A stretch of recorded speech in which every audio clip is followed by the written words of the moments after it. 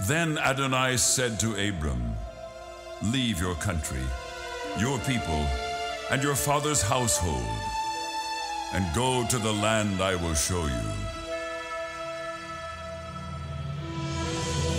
I will make you into a great nation. I will bless those who bless you, and whoever curses you, I will curse.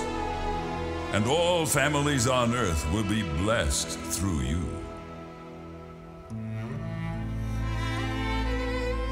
For I will take you out of the nations and bring you back into your own land.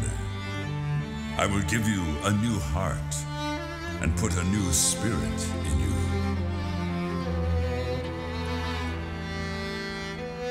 Then the nations will know that I am the Lord when I show myself holy through you before their very eyes.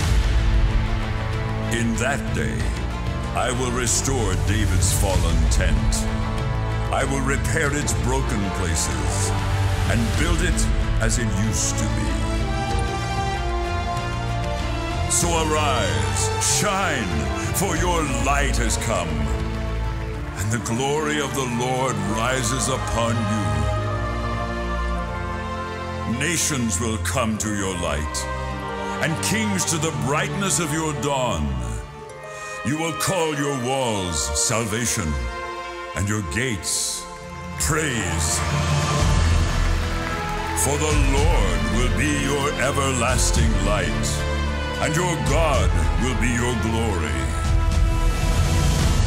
For Zion's sake, I will not keep silent. For Jerusalem's sake, I will not remain quiet till her righteousness shines out like the dawn, her salvation like a blazing torch. For I am exceedingly zealous for Zion.